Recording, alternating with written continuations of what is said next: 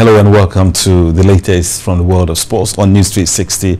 And Ghana's parliament has passed the sports bill into law.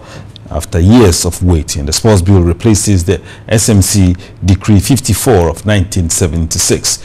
Chairman of Ghana's Parliamentary Select Committee on Sports, Kwabena Mensah Woyome, is optimistic the bill will take care of the challenges in the sports industry.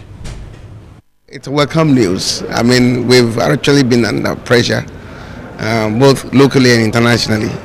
And so you realize that uh, the, the, the, uh, the, legislature uh, is sort of under pressure because the executive had done their work already and they have given us what we need to do. So our role must be felt. And so why there's the need for us to get this and pass to, as it were, you know, get the industry running.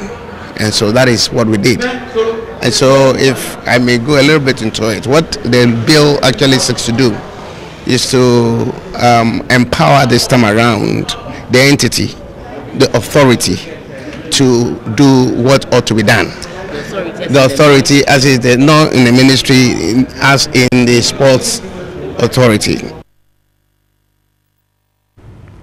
Still on the sports bill, former sports minister O.B. Amoah has described the bill as nothing spectacular. The bill that has been passed to develop the sports industry, in his opinion, was done in a rush and would need a lot of effort to make it work properly.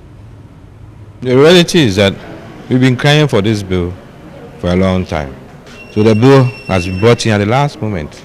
And when bills are brought in at this hour, one, we have to admit there's a rush people don't even take the trouble to look at it very well. If I had my own way, I could have proposed so many amendments and could have even delayed the whole process.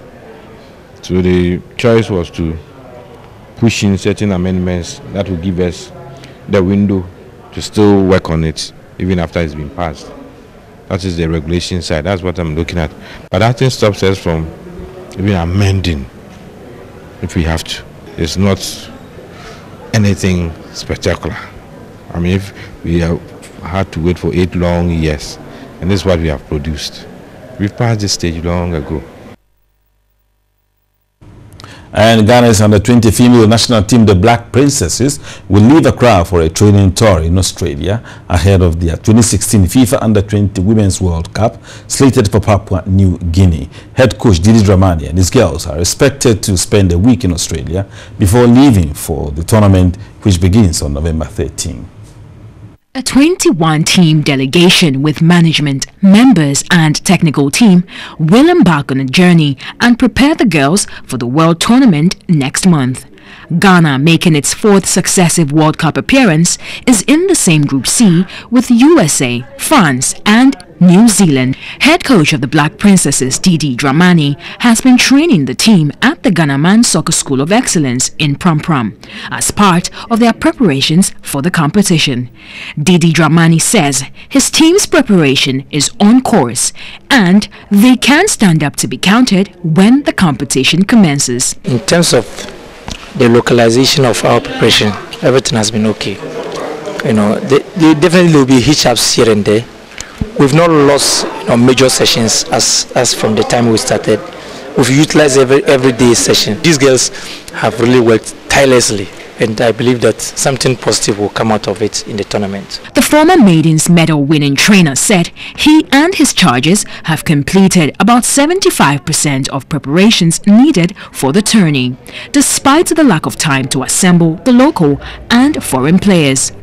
The former Asante Kotoko manager is by far happy with the commitment and enthusiasm demonstrated by the ladies during the period and is positive this can propel the team to perform in the competition. Team captain Fatima Al Hassan is sure of progress in their upcoming tournament. Ghanaians should expect more from us because the first time we were not able to make it, but with the past experience and then those who are from the 17 has joined, we will be able to make it. They should just keep praying and then supporting us. We will make, we will make it.